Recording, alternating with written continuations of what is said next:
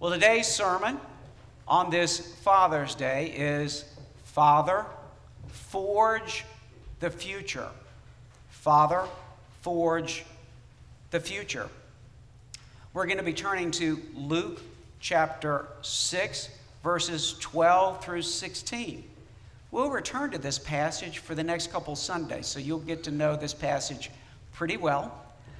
Today, we're also going to be reading initially from Luke chapter 22, verses 25 through 30. This is part of Jesus' Last Supper discourse with his disciples, his inner group of disciples, and specifically, very directly, with his apostles. We'll also incorporate into the sermon today Isaiah chapter 9, verses 6 and 7. I invite you to hear now God's word. Now, it came to pass in those days, he, this is Jesus, went out to the mountain to pray, and he spent the night in prayer with God.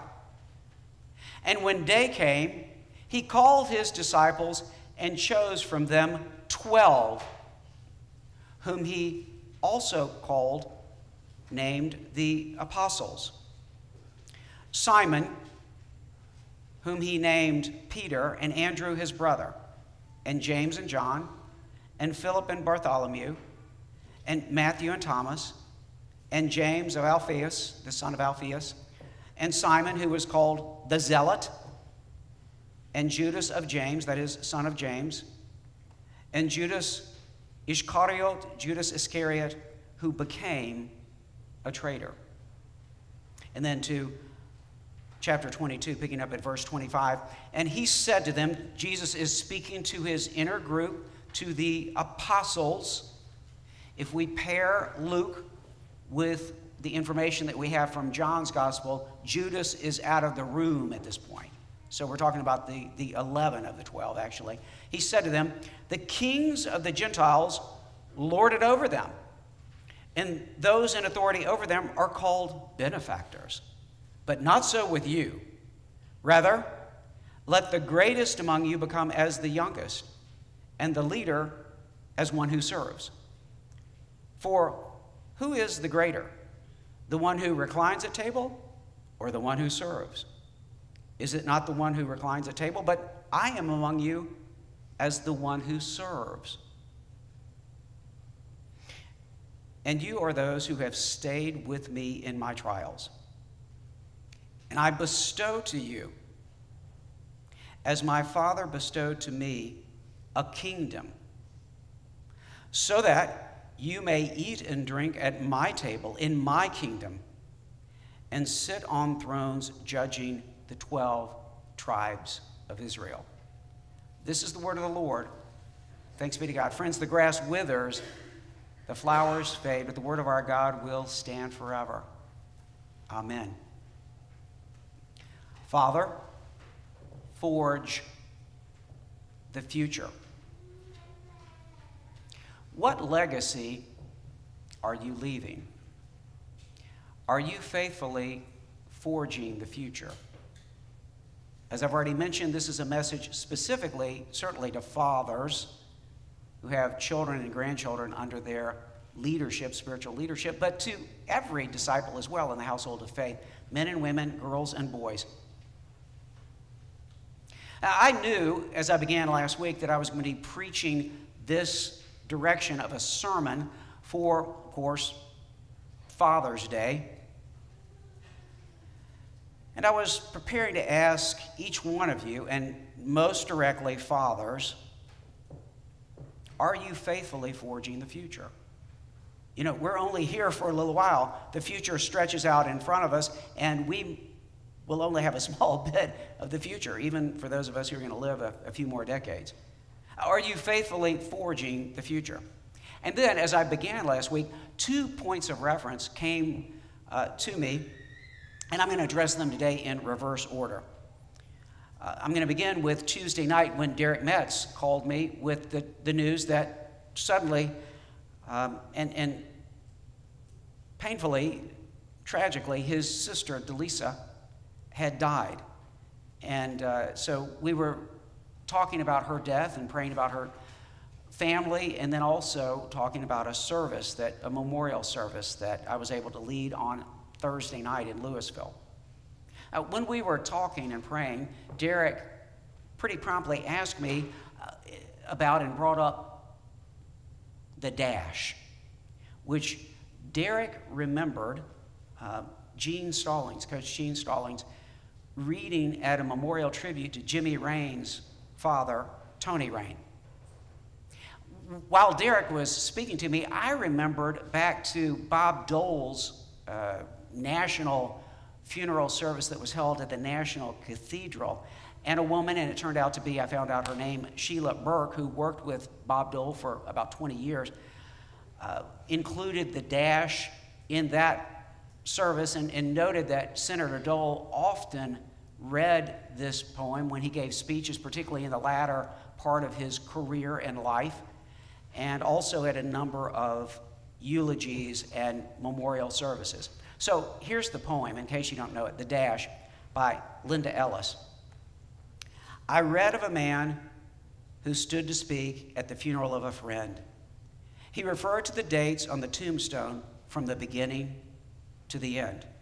He noted first came the date of birth and spoke of the following date, in other words, the death date, with tears. But he said what mattered most of all was the dash between the years. For that dash represents all the time that they spent on earth. And now only those who love them know what that little line is worth.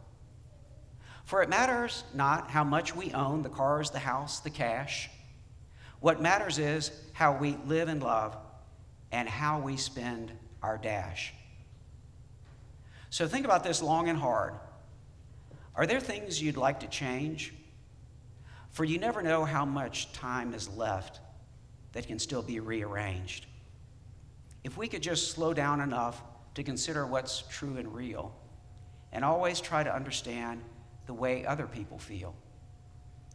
Be less quick to anger and show appreciation more, and love the people in our lives like we've never loved before. If we treat each other with respect and more often wear a smile, remember that this special dash might only last a little while.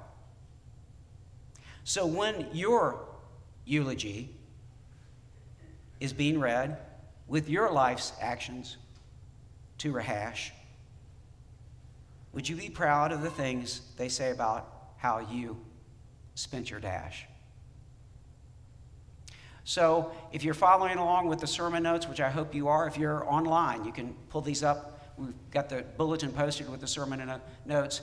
I pretty much hope you can fill in the blank here. What matters most is how you spend your what? Dash. Now, that's a very moving point of reference that Derek brought to my mind on Tuesday night. Another one was a little more jarring, but very important to read. On, on Monday morning, I read an article that was posted actually Sunday night on the Wall Street Journal um, of one particular father passing on his legacy and the leadership of his family heritage to one of his sons. The Wall Street Journal carried an article about multi billionaire George Soros, who for the past 50 years has been one of the richest and arguably has been the most influential social prog- progressive power player and political donor in the world, not only in the United States, but in Europe, in Africa, in the Middle East.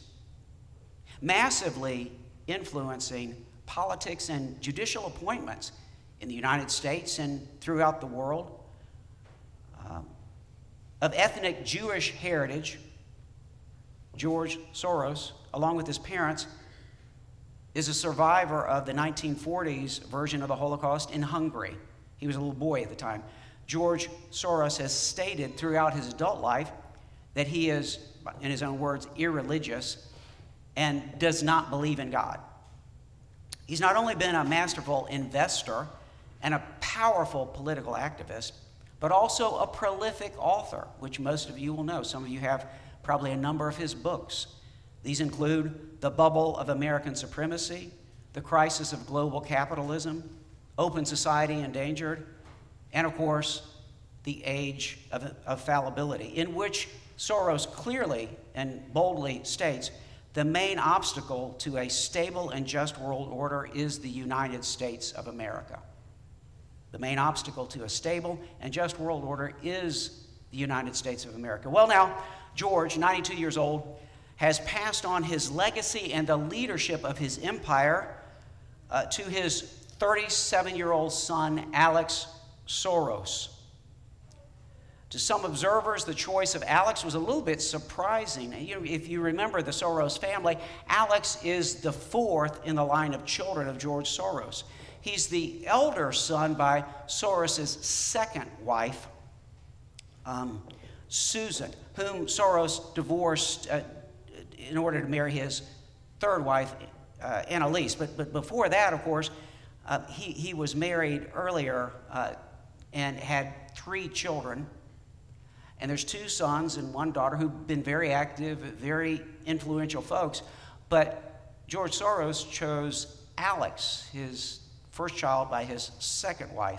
Now, Alex is young and very healthy, educated in the U.S., NYU, and then PhD in philosophy and social uh, influence from University of California, Berkeley. Uh, he's, he's more actively engaged in politics, much more than his older siblings, and he wants to reform and change the world much more than it presently is.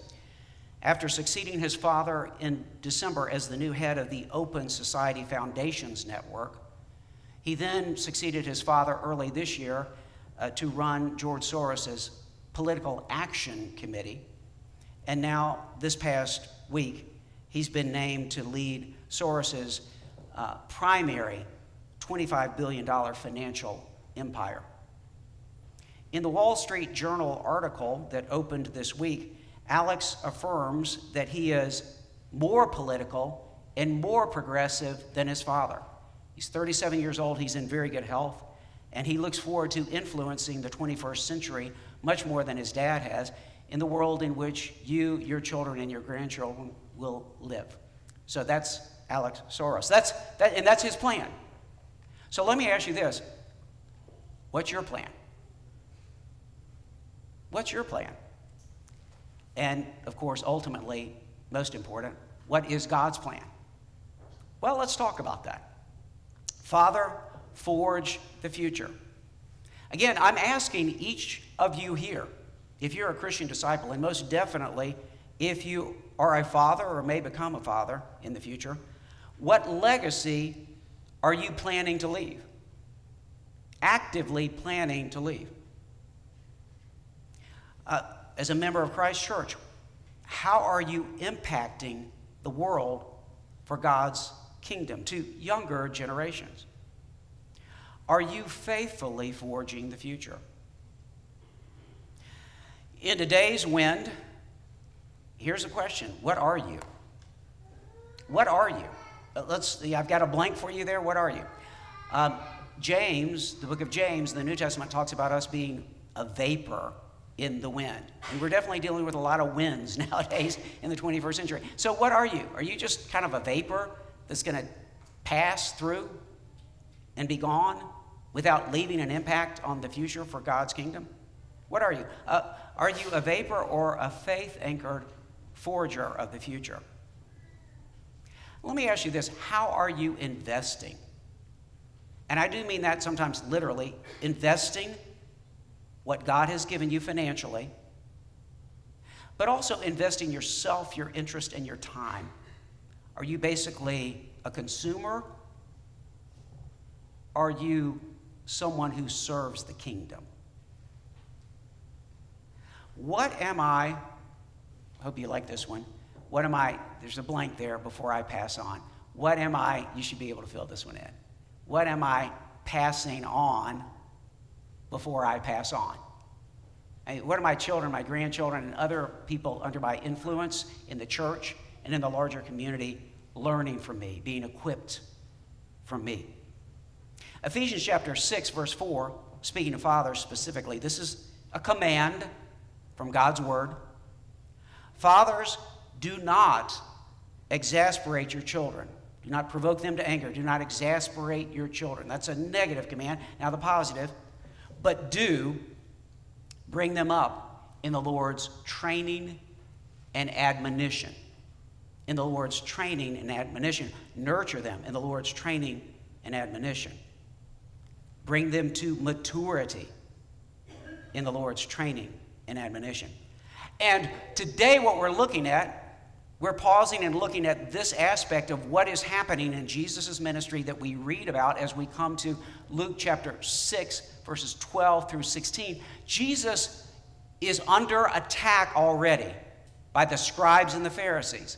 He's still principally operating up in Galilee, although he, he is sometimes down into Judah, certainly sometimes to Jerusalem. At this point in his ministry, he, he's, been, he's been at public ministry for a number of months, and we see increasingly, Luke makes this clear, Matthew, Mark also make this clear, that there's a rising opposition to Jesus by the religious leaders, including the scribes or teachers of the law, and by the larger religious conservative group called the Pharisees. What is Jesus going to do? Jesus knows that he has come to the world to die in your place, in my place. And, and he can see already that it's coming to uh, an imminence now. He's going to die. So, what does he do? Go into deep depression and go into a cave and just kind of wait for it? Does he uh, just kind of entertain himself? There were some great theater and great shows at some of the Decapolis cities. He could have entertained himself. Kind of his version of, in those days, our version of just watching some Netflix and some other entertainment. Is that what he does? No. King Jesus, the father of all New Covenant, New Testament believers, in other words, by extension, his children, forges a future for the new Israel and for the church that he is bringing about. That's what he does.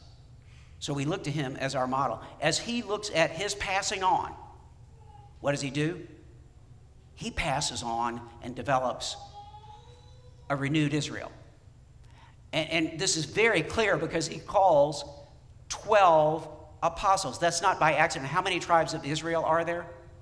12. And speaking of a time dimension, how many months are there? 12. So Jesus is saying, into time and for all time and into the ministry, I am calling forth a new Israel, a renewed Israel, under this apostolic leadership, and I have a plan, and I'm going to forge it before they kill me, before they crucify me. That's what's happening here in chapter 6, verses 12 through 16. But first, let's go back for a moment, look at major prophecies about Jesus, about his coming 700 plus years before he came from Isaiah. From the fourth servant song, the suffering servant song, Isaiah chapter 53, from the second part of verse 10. This is the final stanza. This is after he's been pierced for our transgressions, he's died for our sin. Notice this when his soul makes an offering for guilt, he shall see his offspring. Do you see that? But wait a minute. He never married, he never had biological children. By the way, for those of you who are not biological or adoptive fathers, just remember this. He, he never married, he never had biological children and he's dead. He's died for our sin. But wait a minute. He somehow is going to see, see his offspring. This, of course, is a prophecy, part of this fifth stanza prophecy of the resurrection of Jesus. And everyone who is a believer in Jesus is not only a son of or a child of Abraham, but also an offspring, a child of Jesus. That's what that's telling you, okay? Uh, he shall prolong his days, the will of the Lord shall prosper his hand. Now we're going to go back in Isaiah chapter 9, verses 6 and 7, a prophecy that we often read during Advent and Christmas time. Uh, this incredible prophecy about a child, a child who is born to us. And the term there in Hebrew, Yeled, is for a male child. So we already know it's a male child. The second term, Ben, for son means like a royal son in the line of David. So, unto us a child, a male child is born, unto us a son is given. We're clearly not talking about, in the context of this prophecy, just another son in the royal line of David. We are clearly talking about somebody who's going to change the world, who's going to bring light in the midst of darkness, and who is going to establish a kingdom that has no end and is ever increasing. We're talking about the divinely given Messiah. This is a messianic prophecy. So, uh, that's who we're talking about. He's going to restore and renew Israel, which is exactly what Jesus is in the process of doing and planning to do in Luke chapter 6 that we read about. The government, Isaiah says, the kingdom, will be on his shoulder. Of the increase of his government and peace, there will be no end. It's never going to stop, it's eternal. With justice and righteousness from this time forth and forevermore. Whoever this is, this Son who is given to us. Now let's look at the throne names. Isaiah chapter 9, verse 6. The throne names of this child born to us, the Son given to us, include, you remember, Wonderful Counselor, Mighty God, Everlasting Father, Prince of Peace. Okay, I'm going to highlight two of these, the first and the third. Wonderful Planner. Pella Yoatz. The word there is probably better for us translated as planner. When, when the Bible is talking about counsel and counselor in this case, the Bible is talking about not a therapist who sits down and says, Tell me about your relationship with your parents and your, your, your problems. This, this, is what this is talking about. This is not that kind of counselor. This is a counselor who plans and guides you into the future. Isaiah repeatedly talks about the Lord's etzah, the Lord's plan, the Lord's plans which will come to fulfillment. And now this is telling you this baby, this child born to you, operates the same way. He makes plans and he executes them. In theology, we call this providence, the providence of God. So, wonderful planner. And notice this is always jarring to Christians everlasting Father. Wait a minute, I thought the first person of the Trinity is the Father. Yes, but the second person is also, in a sense, reflective of the first person of the Trinity, our Father in the faith. And he is head of the household of the church. Our one true head is Jesus Christ. He is the spiritual Father. So he's the wonderful planner, he's the everlasting Father. Hans Wildberger, in his uh, commentary on Isaiah, says this The Messianic king does not dispense just any counsel but is a ruler who, like the Lord, like Yahweh, plans wonderful, astonishing things, and naturally is in a position to carry these things out. This Messiah is not only the Messiah, he's also divine in his counsel and in his providence. Which brings us back to Jesus. This is who this is. This is what this is prophesying about Jesus and his ministry. He is a wonderful planner, and he's our everlasting Father in the face of rising opposition from religious leaders, knowing he is called to die for you and for me, knowing he's called to die to redeem Israel and establish the new Israel. He forges the future for his kingdom and his kingdom's children. That means for us, for you and me. So, Luke chapter 6, verses 12 through 16. For the, can you fill in the blank? For the future, for the future, notice this Jesus does three things. Let's learn from this three things. Jesus prays. In fact, he spends all night praying, Luke tells us. This is a hapax legomena. It's the only time this, this word is used, and it's used in the imperfect participial. It, it goes on all night. Jesus is all night up on the mountain praying in communion with the Father for the future. What am I supposed to pray about? Well, the big thing you're supposed to pray about is the future. Jesus prays for the future before he chooses. Secondly, of course, yes, he does. He chooses, under his Father's guidance and counsel, from among the family of disciples, 12 leaders, whom he also names or calls apostles those who will be sent out from him. And for the future, number three, Jesus prepares them all, not just the apostles, but every single disciple, every man and every woman who's following him.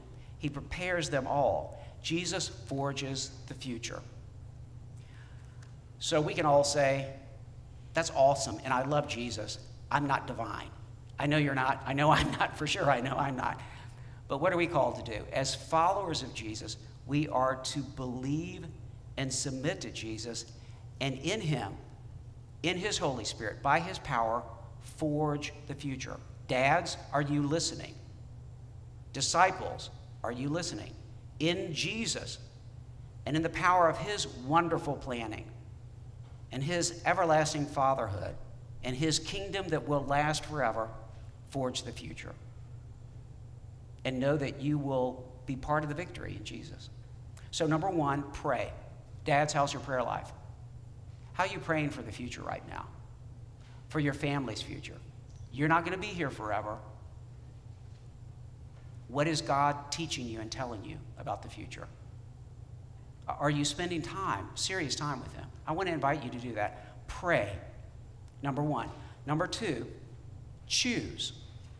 Now, this gets very complicated. I mean, in my flesh, I don't know how to choose. I need definitely to be submitted to Jesus and seeking the guidance of the Holy Spirit, but there need to be assignments for the future.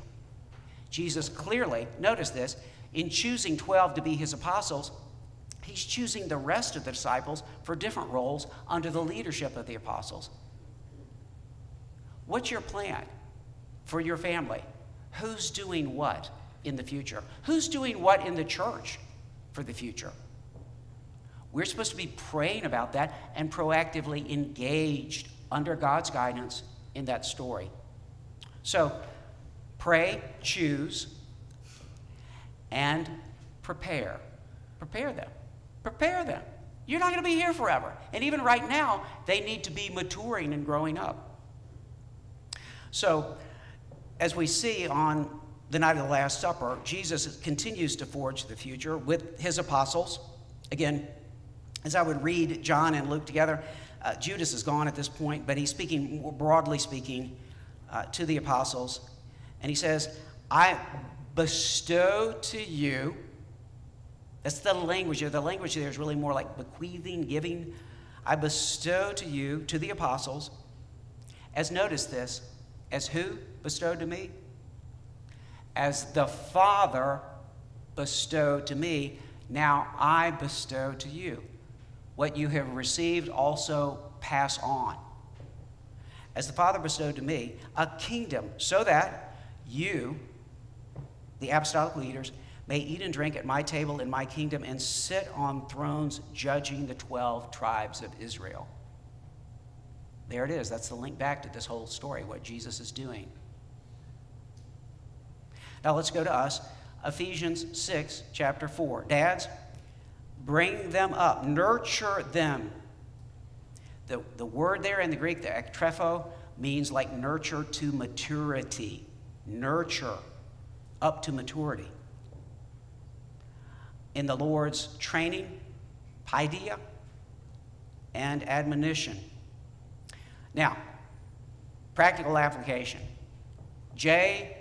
Warner Wallace, Jim Wallace, great apologist for the last couple decades, prolific leader, author, teacher, tells us stop teaching them and start training them. He's talking to the church and he's talking to parents. Stop teaching them and start training them. I asked Boston, Hampton, who was here at the early service, I said, Boston, if I got up and gave a little talk for 15 minutes and showed some pictures of soccer, would a child be ready to play soccer?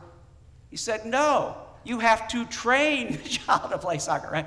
If, if, if I'm going to just talk about the faith and maybe sharing the faith, but I never have my children or anybody under my spiritual leadership engaged in sharing the faith and being able to understand the faith and being able to understand and actually discuss the Bible with somebody else, they're never going to be able to do it.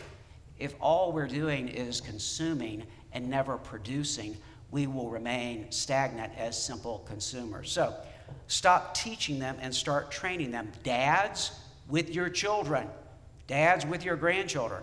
Stop teaching them and start training them.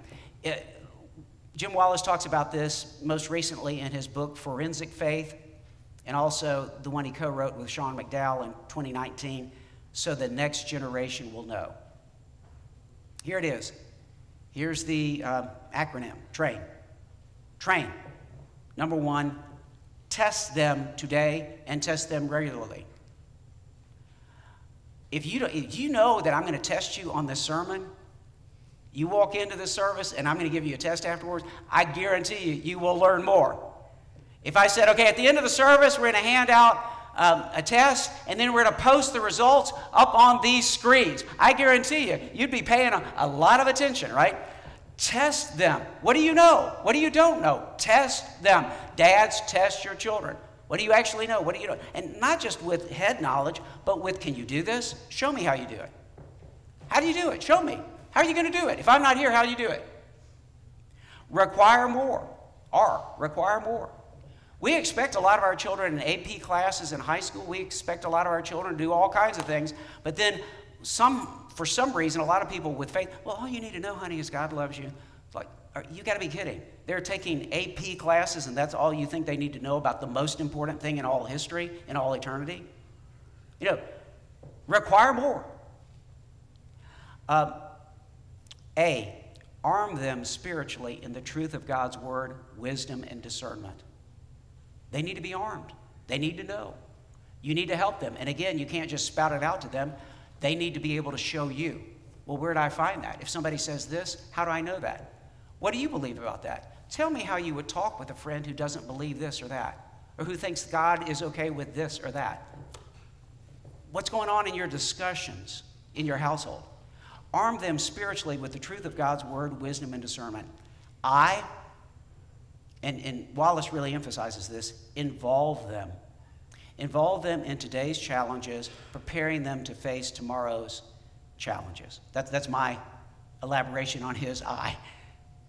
Let them help you deal with today's challenges because in some of tomorrow's challenges, you're not going to be there with them. Even if you're still living, when they come to maturity, they're not going to be by your side. You're not going to be driving them everywhere the rest of their lives. I hope not, okay? They're going to be independent. So involve them today. And Wallace says a key thing to this, and really to all these pieces, is schedule it. Put it in your calendar and on their calendar. Because if they know, back to the test, test them, if they know in a few weeks, we are going somewhere and we're going to be engaged with people who don't believe, or we're going to help people with a mission project, they're going to be a lot more focused if they're actually. This is part of what we do with youth ministry, Maddie. You know, it's like we've got to get them out doing things. Uh, what Wallace does, remember, he's an apologist. He works with middle schoolers and high schoolers in many formats, and he tells them, okay, guys, in eight weeks, he, he's in California, he's in Southern California. In eight weeks, we're going to the campus of Cal Berkeley, University of California, Berkeley, which, by the way, is where Alex Soros graduated with his PhD. Okay? Uh, and we're going to have, you're going to go and talk about life questions and issues with students and graduate students on campus. And he says, You wouldn't believe how much more the middle schoolers and high schoolers, they get a little nervous about this, but how much more it's real for them when they know in eight weeks we're going to Berkeley. And, and then the next trip is that's kind of more for philosophical and current cultural type issues from a faith perspective. For more precise issues with biblical theology, uh, the next road trip that he tells them he's going to take them on is they're going to go to Provo, Utah, to the BYU campus, and to Salt Lake City to around the tabernacle and talk with Mormons about their faith and our faith very different versions of who Jesus is and what Christian faith is. If they know that's happening in two months, they're going to be learning a lot more. But then, of course, when you engage and involve children, youth, and even adults, finally they need to be nurtured. Because life has its hurts and hardships. If you have preteens and teens, you know they need a lot of nurture. They don't need just your hard head. they need a soft and loving heart, too. They need nurture. And, um, you know, if you take a teenager who gets blown out of his mind uh, by some discussions with some folks at Cal Berkeley, you better be circling back up with him on the bus ride back and in the coming days.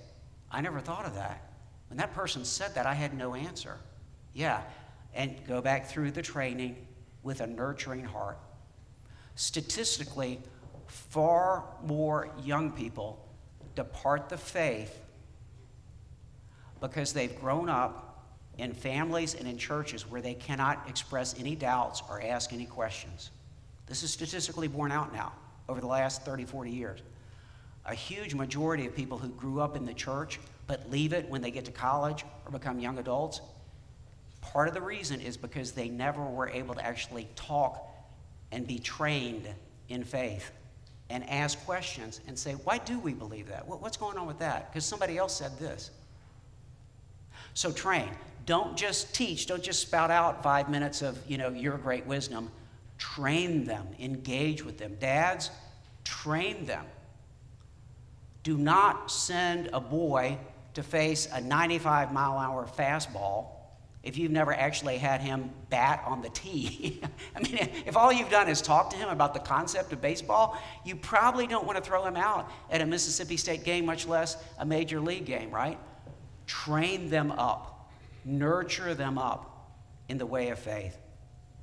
Fathers, forge the future. The world has its plans, but we serve and believe in the one whose plan will prevail.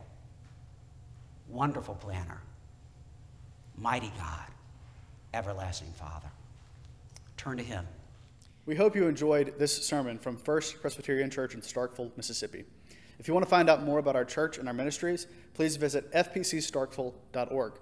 If you'd like someone to reach out to you and uh, maybe grab coffee or lunch to get to know us a little bit better, you can go to fpcstarkville.org slash connect and fill out the form there. And if you like what you're doing and want to see more, uh, go to fpcstarkville.org slash give to give.